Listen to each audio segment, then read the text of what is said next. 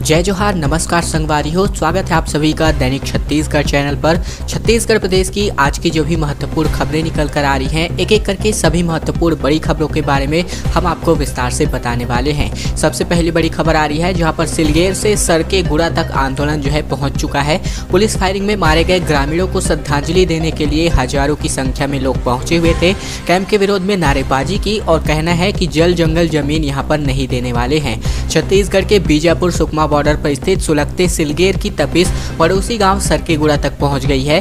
हज़ारों की संख्या में पहुँचे ग्रामीणों ने बीते दिन जो है पुलिस फायरिंग में मारे गए। ग्रामीणों को श्रद्धांजलि दी। वहीं पुलिस प्रशासन के साथ बनाए जा रहे पुलिस कैंप के खिलाफ नारेबाजी भी की है। ग्रामीणों ने कहा है कि वहाँ कैंप और उद्योगपतियों के लिए अपने जल, जंगल और ज़मीन नहीं देने वाले हैं। ग्रामीणों ने इसके लिए वहाँ पर विशेष सभा का भी आयोजन किया गया था। नाकाबंदी और कंटेनमेंट जोन की बंदिश भी यहाँ पर काम नहीं आई है। और एक भीषण दर्दनाक हादसा हुआ है छत्तीसगढ़ के रायपुर में, जहाँ पर माफ़ी जगह रायगढ़ में, जहाँ पर पिकअप और ट्रक में भिड़ंत की वजह से बच्ची समेत कुल पाँच महिलाओं की मौत हुई है। बीस से अधिक लोग घायल हुए हैं। शादी समारोह से वापस लौट रहे थे सभी। छत्तीसगढ़ के रायगढ़ ज़िले में सोमवार को भीषण हादसा हो गया। यहाँ पिकअप और ट्रक की टक्कर में एक बच्ची और कुल मिलाकर के पाँच महिलाओं की मौत हो गई, जबकि बीस लोग घायल हुए हैं, जिनमें एक युवक की हालत फ़िलहाल गंभीर बनी हुई है। जानकारी के मुताबिक सभी लोग एक शादी समारोह समारोह से लौट रहे थे। इसी दौरान दोपहर तीन बजे सामने से आ रही ट्रक के साथ पिकअप की आमने सामने टक्कर हो गई। हादसा धर्मजयगढ़ थाना के सिसरिंगा के पास बताया जा रहा है। वहीं मृतकों के नाम में मथुरा बाई राठिया, सोनम राठिया बिलासा बाई राठिया देवली बाई राठिया और केसरी बाई बालमती राठिया बताया गया है। कुल मिलाकर के छह जो महिलाएँ हैं, इनकी मौत हुई है, जिनमें एक किशोरी बच्ची भी शामिल थी। अब बात करते हैं अठहत्तर ग्राम पंचायतों में करोड़ों के घोटाले के बारे में, जहाँ पर सड़कें बनी, कांजी हाउस बना, बाकी की स्टेशनरी खरीदी। वही कांग्रेस नेता का कहना है कि लॉकडाउन में बोगस फर्म को भुगतान किया गया है। कलेक्टर से इस बाबत शिकायत भी करी गई है। छत्तीसगढ़ के गौरेला पिंडरा मरवाही ज़िले की ग्राम पंचायतों में हुए विकास कार्य सवालों के घेरे में आ गए हैं। इन ग्राम पंचायतों में सड़कें कांजी हाउस बनाने के साथ साथ अन्य विकास कार्य हुए हैं, जबकि अब सत्ताधारी पार्टी कांग्रेस के नेताओं ने इनमें घोटाले का आरोप लगा दिया है।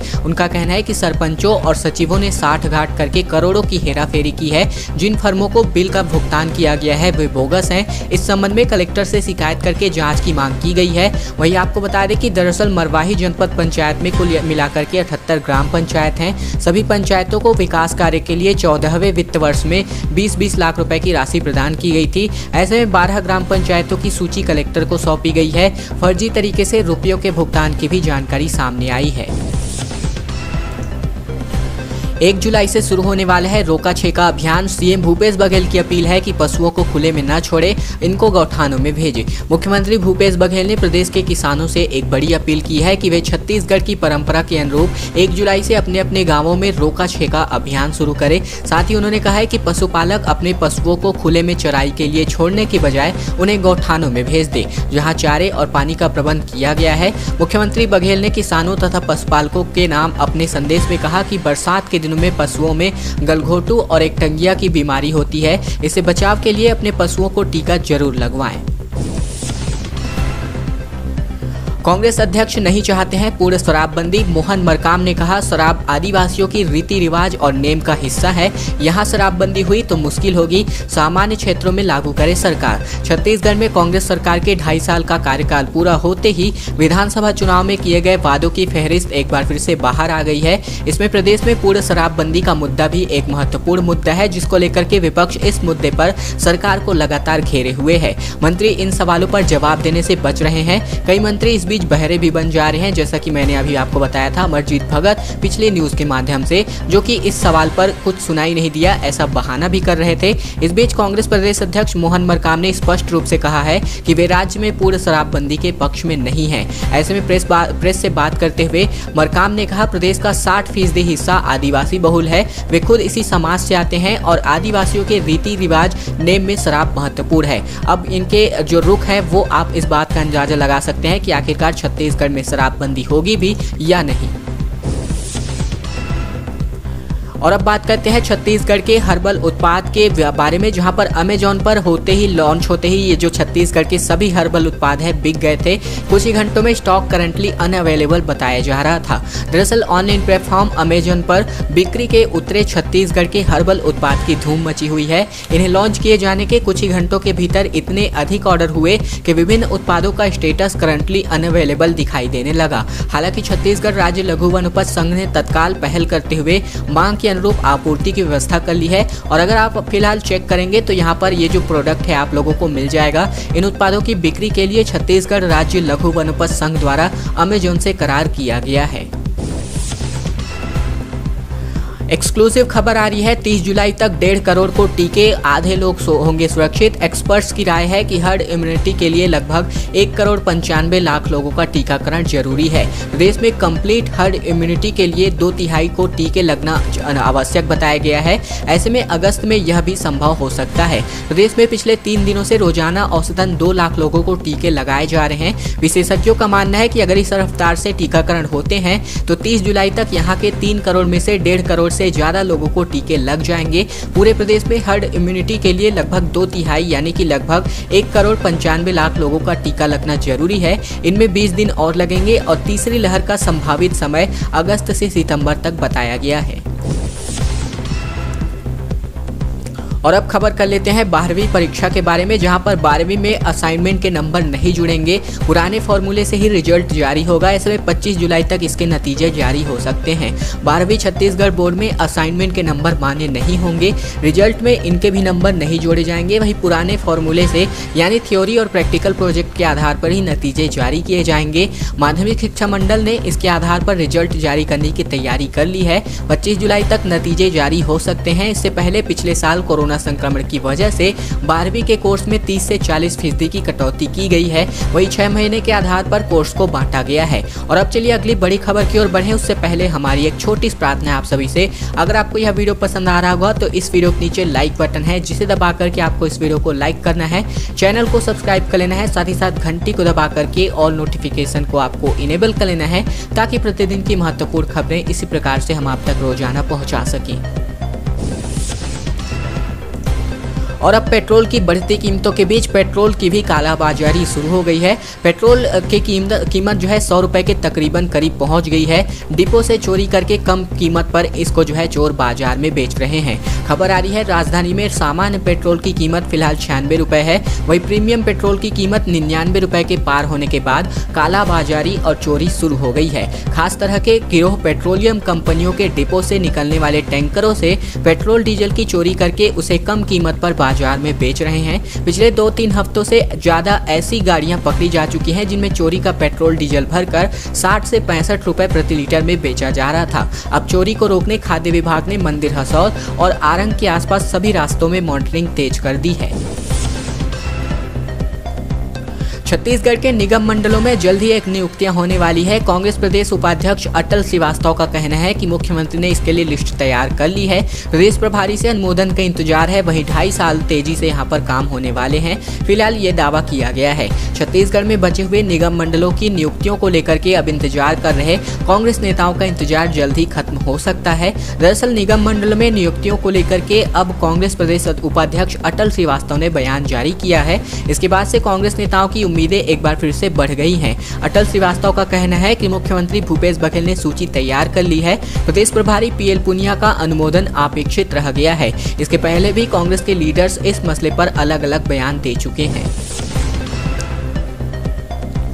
बात करते हैं सरकेगुड़ा में अंधाधुंध फायरिंग से सात नाबालिग समेत कुल सत्रह लोगों की गई थी जान। नवी बरसी पर ग्रामीणों ने दी श्रद्धांजलि, मरकाम ने कहा, सरकार इनको न्याय दिलाने वाली है। हालाँकि मेरे को ये समझ नहीं आता है कि ये नौ साल से इन लोगों को कैसा न्याय मिल पाया है अब तक। दरअसल बीजापुर ज़िले के सरकेगुड़ा में नौ साल पहले हुए हत्याकांड की नवी बरसी पर बीते तीन दिनों से हज़ारों ग्रामीण इकट्ठा हो रहे हैं। ऐसे में यहाँ स्मारक बना करके ग्रामीणों ने मृतकों को श्रद्धांजलि अर्पित की है। बता दें कि सरकेगुड़ा सारकेगुड़ा में 28 जून 2012 की रात सुरक्षा बलों ने सारकेगुड़ा कोत्तागुड़ा और राजपेटा के खुले मैदान में बीज पंडुम बना रहे ग्रामीणों पर अंधाधुंध फायरिंग की थी, जिसमें सात नाबालिग सहित कुल सत्रह निर्दोष मारे गए थे। वहीं आज पीसीसी चीफ मोहन मरकाम ने बस्तर में हो रहे प्रदर्शनों पर कहा है कि राज्य सरकार के कामकाज के चलते नक्सली परास्त हुए हैं और इनको जो है न्याय दिलाने की बात की गई है पीड़ित परिवारों को। लेकिन ये अब तक जो है नौ साल बीत चुके हैं, चाहे भाजपा सरकार हो, चाहे कांग्रेस सरकार। फ़िलहाल कोई भी सरकार इनको अभी न्याय नहीं दिला पाई है।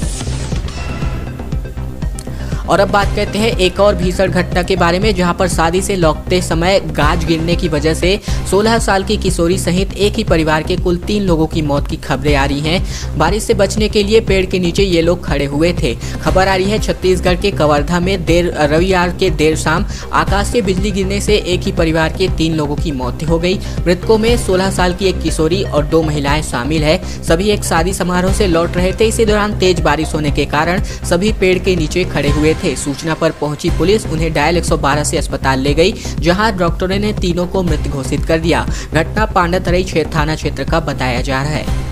और अब चलिए हम आपको, आपके माध्यम से थोड़ी सी एक जागरूकता फैलाना चाहते हैं। सिर के बाल अगर खड़े हो जाए या झुंझुनी होने लगे तो फ़ौरन नीचे बैठ करके कान बंद कर ले। यह इस बात का संकेत है कि आपके आसपास बिजली गिरने वाली है।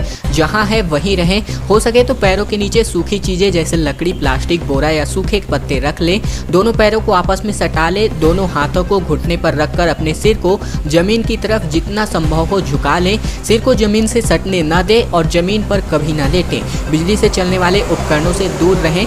तार वाले टेलीफोन का इस्तेमाल ना करें। खिड़कियों दरवाजे, बरामदे और छत से दूर रहें। पेड़ बिजली को आकर्षित करते हैं, इसलिए पेड़ के नीचे कभी भी खड़े ना हों। समूह में खड़े ना रहें अलग अलग हो जाएँ। घर से बाहर है तो धातु से बनी वस्तुओं का इस्तेमाल न करें। बाइक, बिजली या पोल या फिर मशीन से दूर रहें। कि अगर आप इन सब का जो है उपयोग करते हैं, जो मैंने अभी आपको बताया तो हो सकता है जो बिजली गिरने वाली है, इनसे आप बच सकते हैं।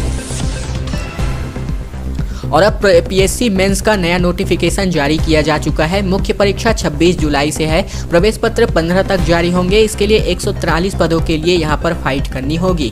पीएससी मेंस का आयोजन 26 से उनतीस जुलाई के बीच होना है। आयोग द्वारा जारी सूचना के मुताबिक मुख्य परीक्षा के लिए 15 जुलाई को प्रवेश पत्र जारी किया जाएगा। लॉकडाउन व कोरोना संक्रमण के बढ़ते प्रभाव को देखते हुए पहले से तय तिथि को लेकर के छत्तीसगढ़ लोक सेवा आयोग ने इसे स्थगित कर दिया था।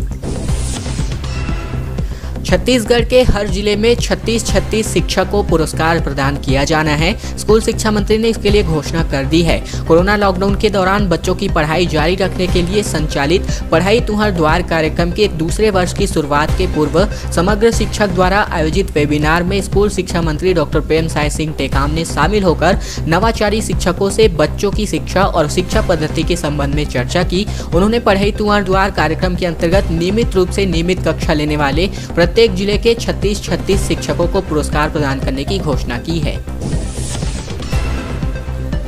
और अब बात करते हैं कॉलेजों में एडमिशन के बारे में, जहाँ पर जैसे ही बारहवीं के नतीजे जारी होंगे, इसके साथ ही प्रथम वर्ष के लिए आवेदन स्टार्ट हो जाएँगे।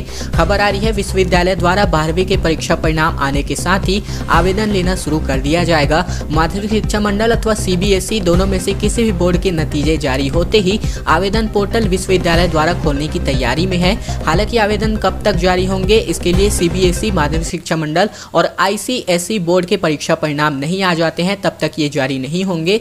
सभी बोर्ड के परिणाम आने और छात्रों द्वारा आवेदन किए जाने के बाद से चयन सूची जारी कर दी जाएगी। खैर दोस्तों, अब आज की खबरों का सिलसिला बस ये तक का था। वीडियो अगर आपको पसंद आया होगा तो इस वीडियो के नीचे लाइक बटन है। बस आपको इस वीडियो को लाइक करना है, साथ ही साथ चैनल को सब्सक्राइब करके, घंटी को दबा करके ऑल नोटिफिकेशन को आपको इनेबल कर लेना है ताकि प्रतिदिन की महत्वपूर्ण खबरें इसी प्रकार से छत्तीसगढ़ समाचार रोज़ाना हम आप तक पहुँचा सकें।